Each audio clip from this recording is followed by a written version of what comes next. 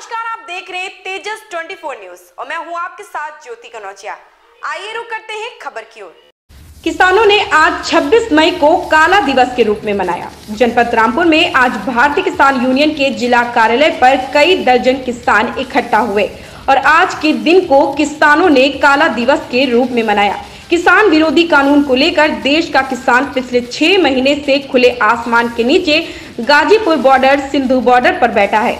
और वह इन तीनों कृषि कानूनों को वापस लेने की मांग कर रहा है। इसी को लेकर आज किसानों ने सरकार के खिलाफ विरोध प्रदर्शन कर आज 26 मई को काला दिवस के रूप में मनाया। हालाँकि किसानों की सरकार का पुतला जलाने का भी कार्यक्रम था, लेकिन प्रशासन ने उसको नाकाम कर दिया और पुतला छीन कर जिला प्रशासन के लोग ले गए।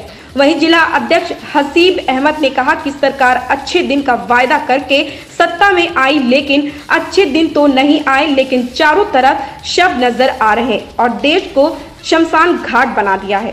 चारों तरफ़ सीमाओं पर छह महीने से किसान बैठा है। आज छह महीने मुकम्मल हो गए, धरने को चलते हुए। इसीलिए ये निर्णय लिया गया कि भारत सरकार के खिलाफ काला दिवस मनाया जाए। जो सरकार अच्छे दिनों का वादा कर कर सत्ता में पहुँची थी कि आपको पंद्रह लाख रुपए मिलेंगे, आपको डीजल सस्ता मिलेगा, आपको गैस सिलेंडर सस्ता मिलेगा। मतलब हर चीज़ आपको सस्ती मिलेगी, अच्छे दिन मिलेंगे पंद्रह पंद्रह लाख रुपए मिलेंगे। वो दिन देखने मिल रहे हैं कि किसान दिल्ली के चारों तरफ़ बैठा है।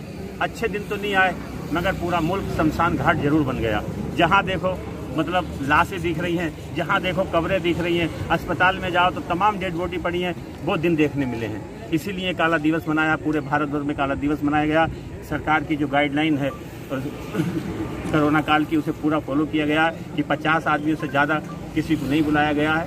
हर लोगों ने हर गाँव में अपने अपने घरों पर काले झंडे ट्रैक्टरों पर झंडे लगाए गए हैं और भारत सरकार का पुतला दहन किया गया। इसी तरीके से भारत सरकार का पुतला यहाँ दहन किया गया। मगर प्रशासन ने उसे जलने नहीं दिया गया। प्रशासन ने दिल्ली की खबर होकर उसके टुकड़े कर दिए गए, मगर हमारा काम हो गया।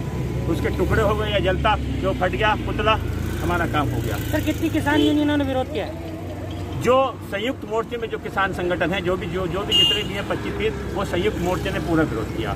अब किसान यूनियन तो बहुत है बनाते हैं कुछ सरकार ने अपनी नीति अपने तरीके से बना रखी है। संघ उनका है भारतीय किसान संघ उनका है ऐसी बहुत यूनियन सरकार की भी तो अपनी है। मगर जो किसानों की ओरिजिनल यूनियन है वो संयुक्त मोर्चे में जुड़ी हुई है और जो पूरा मतलब पूरे पूरे भारत वर्ष में काला दिवस मनाया गया। ही खबर से जुड़े रहने के लिए आप देखते रहें तेजस 24 न्यूज़।